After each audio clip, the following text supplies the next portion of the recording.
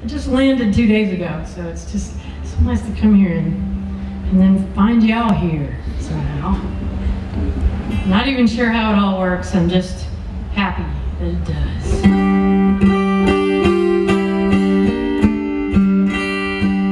So come visit me at the tent 315, I think is when I'm going to be there. And I should have time to get back here uh, for the next band. And I'm going to leave you with a, a little love song that I wrote on Valentine's Day, which means I was not out on a date. You can just imagine, it's fast. It's, it's a peppy little number.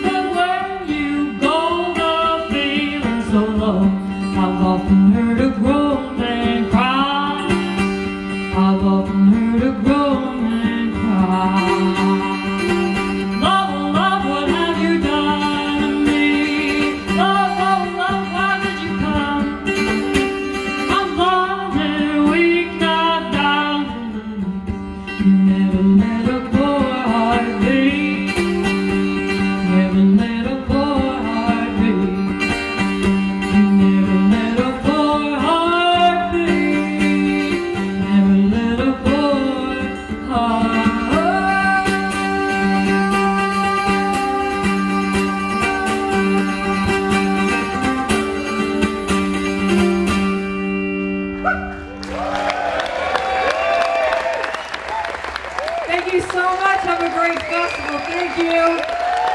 Thank you.